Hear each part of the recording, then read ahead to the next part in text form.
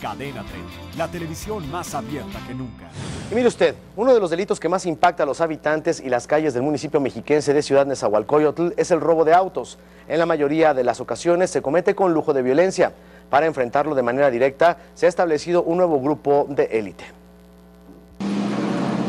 Calles obscuras, avenidas sin vehículos, terreno propicio para la delincuencia. Con 15 elementos del Grupo Titán de la Policía Municipal de Nezahualcóyotl, Grupo Imagen Multimedia realizó un recorrido por toda la línea limítrofe que divide el ayuntamiento de los municipios de Los Reyes La Paz, Chimalhuacán, Ecatepec y las delegaciones Iztapalapa, Iztacalco y Gustavo Amadero, considerados de mayor incidencia delictiva.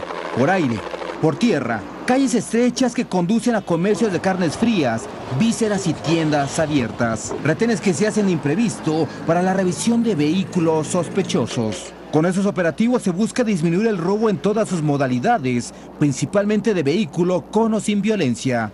Cifras del Sistema Nacional de Seguridad Pública de enero a junio del presente año señalan que en este municipio se han cometido 7.204 robos en todas las modalidades, donde sobresale el de vehículo, con 1.782 denuncias ante el Ministerio Público.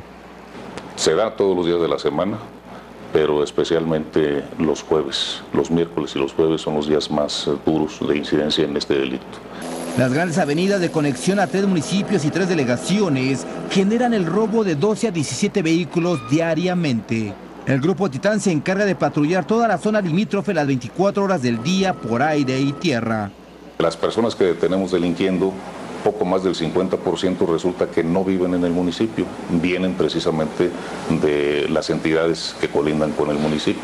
Entonces la Policía Metropolitana ha sido creada para colaborar a la protección de la población de Nezahualcóyotl, blindando estas colindancias.